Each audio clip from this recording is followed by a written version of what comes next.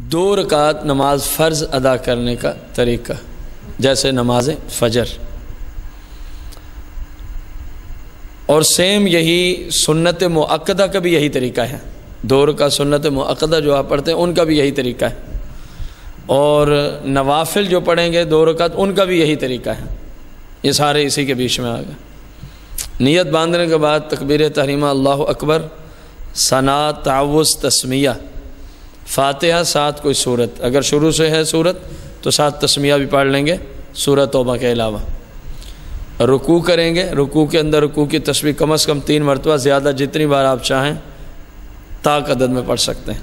समय अल्लाहमन हमीदा, और रब्बना लकल हमद, अल्लाहुम्मा रब्बना लकल हमद, अल्लाहुम्मा रब्बना वलकल हमद। सजदे में जाएँगे, तीन मरतबा सजदे की तस्वीर कम अज़ कम दोनों सजदों के दरमियान बैठेंगे, फिर दूसरे सजदे की तरफ़ जाएँगे, तीन मरतबा कम अज़ कम तस्वीर सजदा, फिर खड़े हो जाएँगे। तस्मिया शरीफ, फ़ातिहा, सात को सूरत, रुकू, सजूद करके तशहद पे बैठ कर तशहद पढ़ेंगे, यानी अतहियात उसके बाद दरूज शरीफ, सात, जो दुआ आप पढ़ना चाहें, उसके बाद सलाम फेर देंगे। दो फ़र्ज़ भी ऐसे ही पढ़े जाएँगे दौर का सुन्नत मुक्दा भी ऐसे ही पढ़ी जाएँगी और दौर का नमाज़ नफिल भी ऐसे ही पढ़े जाएँगे।